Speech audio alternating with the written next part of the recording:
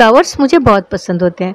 तो मैं कभी कभी सुबह आके इनके पास थोड़ा टाइम स्पेंड करती हूँ। ये फ्रेश फ्लावर्स हैं और इसको बंगला में टॉगर बोलते हैं और हिंदी नाम अभी मुझे याद नहीं है। और ये तो गुड़हल है और जो जिसको हम लोग जौबा बोलते हैं। और ये जो मैंने ये सेट अभी शेयर किया था ना, उसी का ये इयर है। जो लेटेस्ट वीडियो था ट्यूटोरियल, उसी का। और ये ज्वेलरी का कंप्लीट लुक आप देखिए। ये गुड़हल दिया और एक लीफ के ऊपर माँ काली का आँखें और ये जो पर्ल से मैंने इसको अटैच किया है। पर्ल नेकलेस टाइप बनाया है और ये जो इयर है, उसमें भी मैंने एक एक ने पर्ल लगाया है और दिया है छोटा छोटा लीफ है। ये कंप्लीट लुक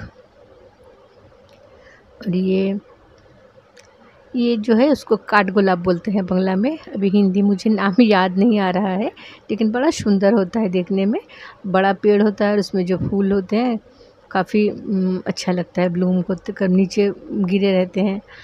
तो मैंने उसी का लुक लिया था और ये ये सेट मैंने कुछ दूसरे स्टाइल में बनाया था कि थोड़ा सा तिरछा रहेगा। जो बड़ा फूल है वो ऊपर की तरफ़ जाएगा। बड़ा सुंदर देखने में है, काफ़ी स्टाइलिश। और ये ये आप कभी कभी थिंकिंग था कभी कभी होता है ना, पूरी रात हम पढ़ने की कोशिश करते हैं या कुछ लिखने की कोशिश करते हैं, लेकिन होता नहीं है। कंप्लीट नहीं हो पाता। तो सुबह जो है इंसान का चेहरा ऐसे ही होता है, आँखें भी सूजी हुई और किताब खाली या कॉपी खाली। ये भी वही जो फ्लावर मैंने शुरू में दिखाया था, वही फ्लावर मैंने बनाया है, क्ले से। तो ये एक छोटा ये हासुली है और उसी का इयर और पहले उनका हेवी नेकलेस था जो पहले वाला था और ये थोड़ा हल्का।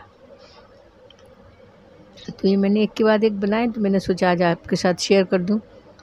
और ये जो है, इसको वुडन लुक दिया है मैंने। ये आउल है पेंडेंट है ओनली पेंडेंट है और इसमें मैंने वायरिंग से लगाया है। जो देखने में बहुत सुंदर लग रहा है, काफ़ी स्टाइलिश है और ये आपका किसी भी वेस्टर्न के साथ भी ये अच्छा जाएगा, मुझे लगता है। तो और ये जो है, एक थाल मेरे ख्वाब। आप देखिए, आप आप भी रिलेट करते हैं कि नहीं इतने कलरफुल, इतने खुशियों वाला, ये मैंने एक थाल में सजा के मैंने इस चीज़ को रखा मुझे बड़ा बड़ा अच्छा लगा देखने में। और ये, इसीलिए मैंने शेयर किया। देखिए। धन्यवाद।